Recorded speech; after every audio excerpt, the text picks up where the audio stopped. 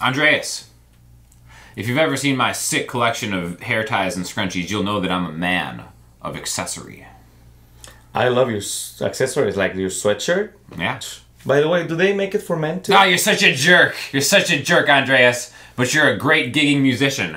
Thank you. And you know a lot about the accessories that you need at a gig. I learned throughout the years.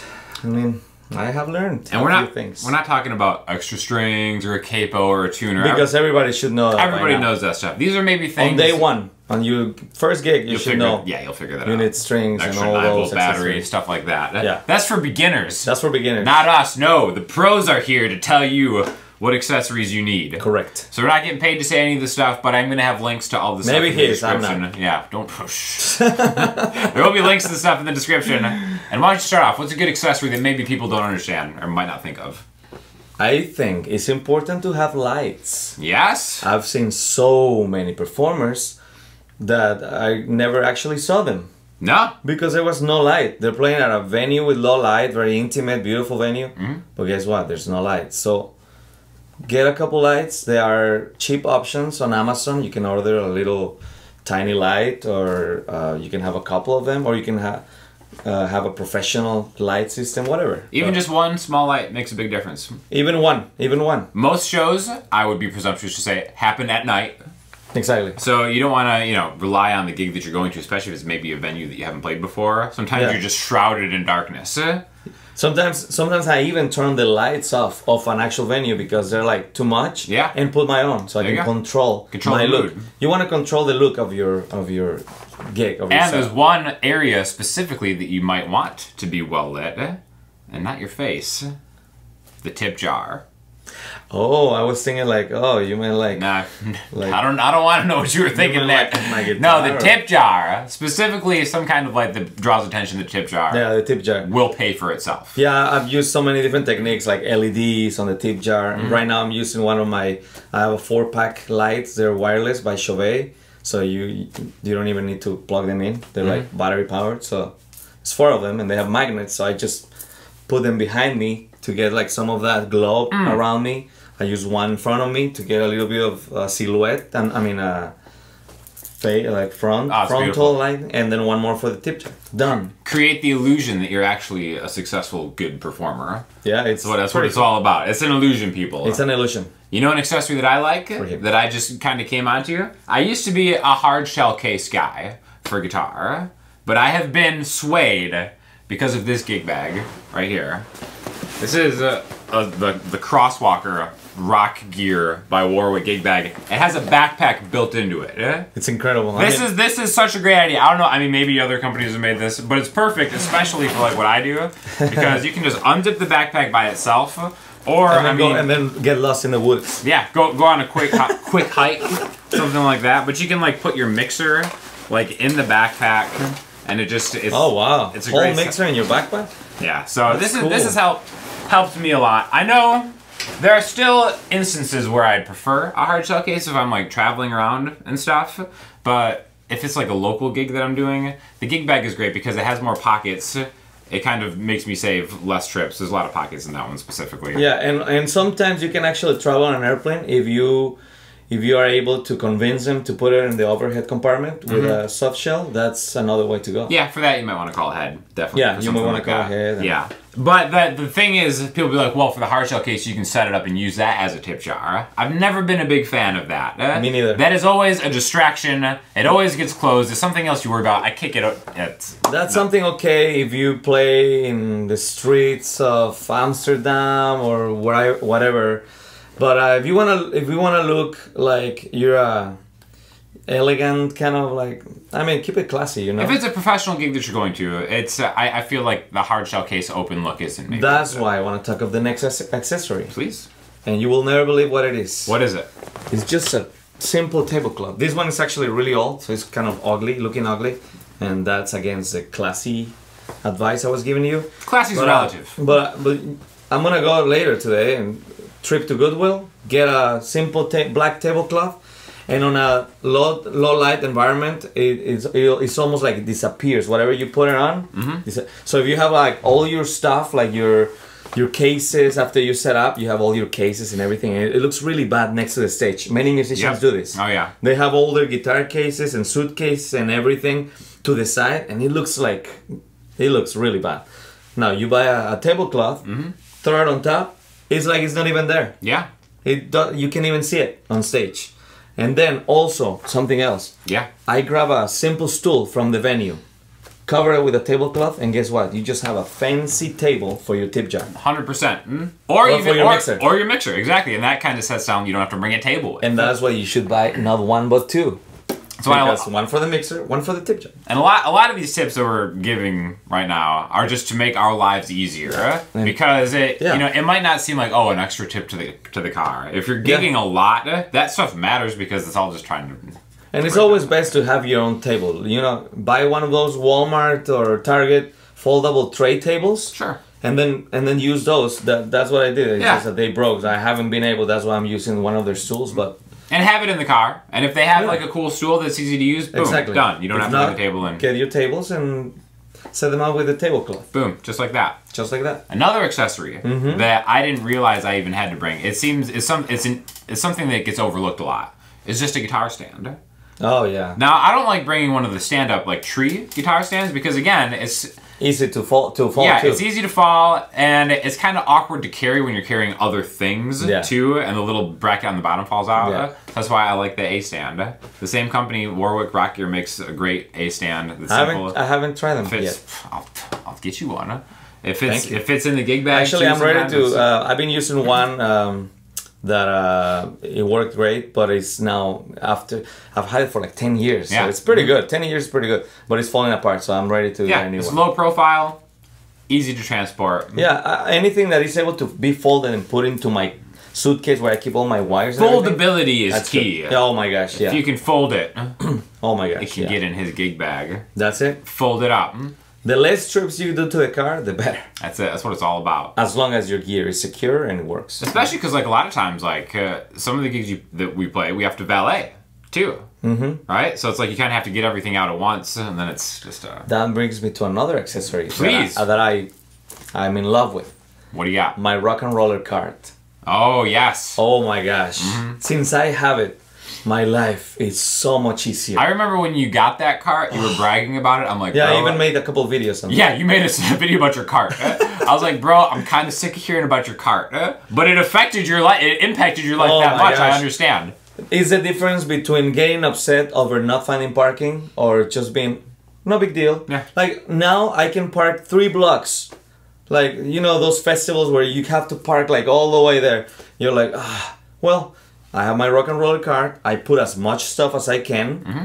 and because it has a, a way to keep your stuff because from both sides Right. there's a, the the things that keep your stuff from falling. Oh, know? yeah. Um, so I just put everything there, put a bungee cord or a couple of them afterwards, so stu- stuff doesn't fall, and that's it. One trip or or or two trips the most. Sure, it's you easy. know? Yeah, I usually do two trips because in the first one I take all my gear, and the second one I bring my guitar, like this stuff that is very like fragile. Totally, I mm-hmm. do that on, on a separate trip. My guitar, my tip jar. A lot of performers. baby. Sure. No, I don't care. about Someone baby. else's baby. Someone else's baby. A lot of performers will identify with having to use ghetto systems. Like at hotels and stuff, you could use one of the luggage racks and, Exactly. and pile stuff up, and then you're trying to hold them from both sides and like And- move it with your knee. And sometimes that's actually pretty cool to use. ju- Yeah. The hotel one, just because the big wheels. Ah, So that's the thing about rock and roller. The wheels are not the best. Better than most carts. Sure. But actually, I had to upgrade the wheels. I had Oh, to pay extra. customized. And get from Wow. them too. But they have a bigger option of wheels. So I got the smaller rock and roller that they offer. And then I I uh, I got the bigger wheels. And now, now it's pretty good. it's great. Yeah, it and works you, great. And you never know what you might have to wheel around in life. It's just a good, Never. Yeah. Oh, I, I have taken bags of dirt like Oh, sure. from my garden around my garden with a mm. rock and roller. You are. so I mean, it's useful you in, like- in you like many the ways, and it has different configurations. So I should probably get a sponsorship from Rock and Roller. Just Probably should. all this. You're like the dirt bag king, like my friend. 10 minutes King of the dirt bags.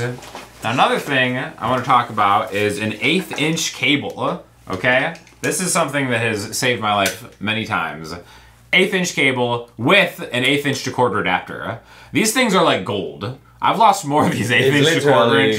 this is color. gold. Yeah, 24 karat gold. No big deal. No big deal. Uh, it's, it's Tiffany's. Can I turn it into a ring? It's a Tiffany's. Do you yeah. mind? Well, you no, not it? this one. I need this Why? one because I lose these all the time. and this, yeah, I lose these things all the time. Now, again, so what you could use this for, you could plug it into like an iPad or a phone, not an iPhone. And unless you have the dongle, we'll talk about that in a second. And then you can plug it into your mixer and play Dongle. and play background music or something if you're you know on a break, if you're taking care of some kind of problem or whatever. Try to get a long enough eighth inch cable. This one is barely long enough to do. the Yeah, that's actually very But most this But is still next. This is a longer eighth inch cable. oh my gosh. Right? Eh? Like they sell them like this long. It's Yeah, like that. why? It's so stupid. Yeah, this is like one of the longest ones you'll find. If you can find a longer than this, buy it because it's worth it. Eighth inch cables really help a lot. I refuse to purchase the iPhone dongle that goes from eighth inch to like the little jack. I refuse out of principle to purchase that. I will not pay thirty dollars for that stupid little thing. Even though the one that I have from the It's just iPhone so is- weird to, it's like to change the way you plug in uh, Stupid. audio It's into a phone. We don't need to get. I mean, it's standard. The 3.5 millimeter is a standard. Yeah. Why did they do that? I don't know. But guess what? What? There's a solution for that? Well, I just decided one day I'm tired of being tied to my electron to my mixer with Mm-hmm. a cable, so I just went the Bluetooth way. I ordered one of those tiny Bluetooth receivers. Okay. You just type on Amazon Bluetooth receiver, and they're like small, little square. Boom. They're like thirty bucks or something like that. Done. And now I just hit a button on my iPad, music starts playing. If I need to walk with my iPad away from the stage, you can still have the music playing because it's Bluetooth. So it's it's perfect. Although if I'm this is a tip, a tip. If you ever do like a wedding or something where where you your um, sound cannot cut off no matter what, then go this route, the wired route. So there's no possible accidents where oh the music stopped and everybody was dancing. You know, can you imagine at a wedding? that's rough. Everybody dancing and then suddenly, oops, the music stopped. Everybody's like awkward. Who's who's responsible for this awkwardness? Exactly. Ridiculous. Another one, another great accessory that people talk about. I mean, I think we kind of all understand that having a good strap is somewhat important, but it's not just about having a good strap. It's also about having strap locks.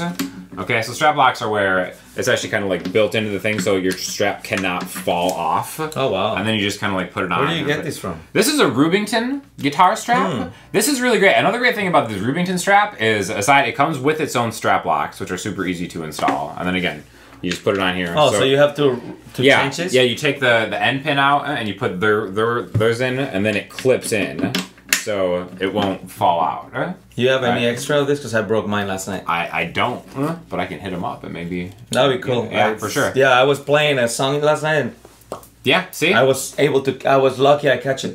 Another thing. And, and it had the locks. It, it, the actual strap broke. Yeah. Oh, that's rough. Uh, That's And it was at the Adario, which is like Yeah, those are usually pretty good. I, I, don't know what happened. I like this Rubington one because even the D'Addario ones, which are fine, It has a plastic thing. it's plastic and they don't That's get long enough. And I'm not a super, I'm tallish. I'm 6'1", but that's not super tall. Like I, it has to be at the very Taller than me, yes, but Pete, It has to be like, at the very maximum length Yeah. to get it right. So the nice thing about the Rubington ones is they're longer. So if you're if you're taller, I like these a lot. Mm. Strap locks are great because kind of like you said, And it's funny because I wear my guitars all the way high here Yeah, because uh-huh. I like the classical style position. So it's funny I, when somebody comes into the stage and they're like, "Hey, can I play your guitar?" Which I usually don't let them. And guitar is like a toothbrush, you know. yeah, sure, just just like a toothbrush. Uh-huh. It's just like a toothbrush. But I- it's, I let it's pe- personal. At gigs, I let people use my But, uh, toothbrushes. well, it's you- fine. You know what I mean? Well, because important. your gig is an open mic, of course. you know. but uh, yeah, but once in a while, I have a friend of mine, like Sean, that comes and plays a song, Mm-hmm. and then when they grab the guitar, they're like, "Oh my gosh!" Oh yeah, it's like I'm like well, I'm not. that's uh, my yeah, position. So- That's why I just I'll do the standing thing, the yoga pose, where I put my leg up and then I play like this standing. Oh yeah, I've done that Uh, too. That's pretty funny Where I put my arm like this. and- Yeah. But anyways, awkwardly. having a good strap is good. Also, guitar players develop this superhuman power that you demonstrated last night, What? where your strap comes off or breaks and you, catch it. It's amazing. I've never dropped it. I've never seen anyone drop it. Uh, Yeah. I've seen people of all different dexterity abilities. They always catch it. Uh, It's true. But someday maybe Someday you be will. so lucky. maybe you'll be eating Uh-huh. like a grilled cheese sandwich and you have all this grease in your Yeah, hands. and then, oh. And you'll be like, "Oh, And let then me you- play this song for you." And then oh. you have to make that split like- second decision. Yeah, do I like- drop the sandwich and catch it, or do, Well, even if you try to catch it, that was the point. It will slip because Yeah, you're eating uh-huh. a grilled cheese sandwich. Spe- yeah. Unless you can take a, take it apart and catch it between the pieces Ooh, of bread. that's a good idea. So it's like sticky a- cheese. So it's like elastic. The it che- just yeah, bounces back. exactly. Like a spider mm-hmm. web. yeah, and the sticky hot cheese idea. just molds it. Oh my gosh. Yeah. There's another like accessory would be a napkin to clean your strings after the grilled cheese gets on it. Let me tell you about another accessory. Please, give me a couple more. What's the? Oh, that's. Yep. Have you have you seen how many how many times where you get to a gig and there's like only one outlet and Uh-huh. you're like, oh man. Oh my gosh. Always and, and it's a two strip. prong outlet. Exactly. Like what is this? and you're like looking, looking like all over the place, like, and you're like, I know my microwave has one of those converters, but I'm not at home. yeah, exactly. How true. old is this Yeah, building? exactly, exactly. But yeah, always carry, and and the reason I like this is because this is they, they claim to reduce the the power conditioner. Yeah. yeah, Uh, it's a it's a power conditioner, like like the conditioner in your hair, but it condi- it conditions It's like that. the power. Uh-huh. So the, the little noises that maybe a building has a weird funky power, and you hear this thing. Well, that thing should lower that Mm-hmm. noise. And another accessory, real quick, a little iPad holder or iPhone holder, Yep. so you don't have to carry. That's nice because you can clip it to. you, you, I clip it to my microphone, uh, to my microphone stand. Mm-hmm. So I have my iPad right there, and I don't have to worry about bringing an eliminates extra an extra music stand or music something stand. like that. Yeah, no more music stands for me. And I know there's one more thing that you use because you go live sometimes. Too. Oh, That's that's a really cool one. This guy right here. I've had this for such a long time. They have a, a new version, but it's Apogee Jam. It's just a way to plug in uh, an, either your guitar directly, your guitar. It's actually meant a very simple interface. Yeah, it's an interface. So it's meant to plug your guitar and record on your iPhone or or Android, whatever. Um, but the way I use it is I take the out from my mixer with with everything, my looper, my voice, everything. The out, plug it right here, plug it into my phone, go live on Facebook or Instagram, and instead of just hearing the the, The whole noise, quality, yeah. the iPhone quality microphone. No, now you're hearing the mixer, the high quality. And I've had so many people telling me while I'm going live in the comments, they go like, "Oh my gosh, I have you through my Bluetooth speakers in Indiana right now, It's awesome. listening to your whole set. It sounds like I'm there or better because cool. Mhm. high quality." And it's a very relatively cheap interface too. I, think it's like I wish every something like musician because I see Yeah. all these other musicians go live, and I just wish I could actually hear it. I see them, Sure. they're playing mean guitar, but the sound is crap. Yeah, it's rough. But they connect to an interface, problem solved. And those are accessory tips from a professional. From two kind of professionals. You kind of, me full professional. For real, full. I'm half pro. half pro, half pro. Just Full kidding. bro, half pro. Just kidding. That's what's up. Mm. Let us know if there's any accessories you guys would like to add to our definitive list of must-have gigging accessories. And, Yeah. And then pop on over to this guy's channel to see some of that. Thanks some for, of that uh, mad me. playing. Thanks for having me on your channel, man. Man, thanks for letting the people know what it takes to be a true boss out there. They should come to our gigs. I think we definitely, yeah. Okay, come over, guys, whenever you want. We'll Whenever see you there.